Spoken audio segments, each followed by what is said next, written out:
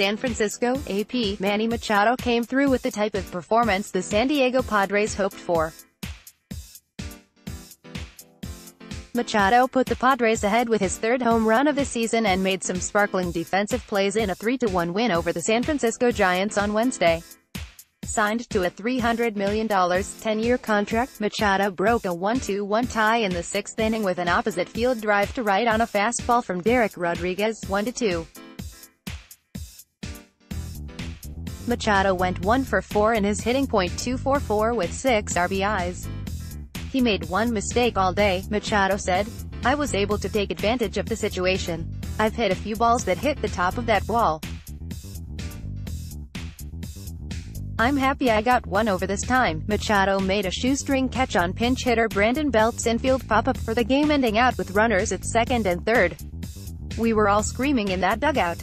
Nobody catches that last ball but Manny, Padres manager Andy Green said. A two-time Gold Glove winner, Machado also made a great bare-handed throw to retire Yangervis Solarte on a grounder leading off the third. He threw out Erik Kratz trying to score from third on Kevin Pillar's fifth-inning grounder. Wil Myers added a run-scoring single in the ninth off Will Smith, and the Padres won for the fifth time in seven games. Nick Margevicius 1-1, got his first major league win.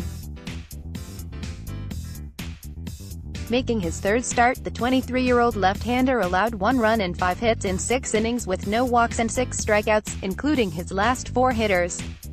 He retired his first nine batters before a home run by Pillar, who has nine RBIs in his last three games. Right-handed hitters were 1 for 27 against Margevicius before the homer. Going into the game one felt my stuff was going to be alright. I was working in the bullpen on my slider, Margevicius said. It wasn't quite where I wanted it, but once I got into the game and started throwing it a little I got more comfortable with it. I felt pretty confident with my pitches.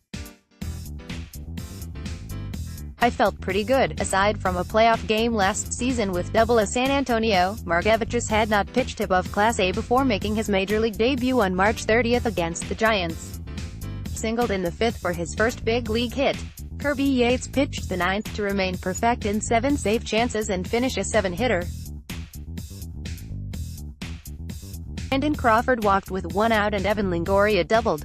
Yates struck out Solarte before Belt's pop-up to Machado. Rodriguez gave up two runs and four hits in seven innings as San Francisco lost for the sixth time in eight games.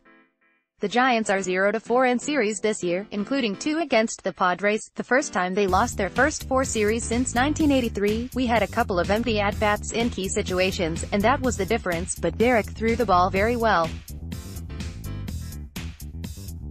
Great job on his part, Giants manager Bruce Bochy said. We have a lot of baseball left. We're not happy with where we're at, but you've got to understand there's other good teams that haven't gotten off to a great start either.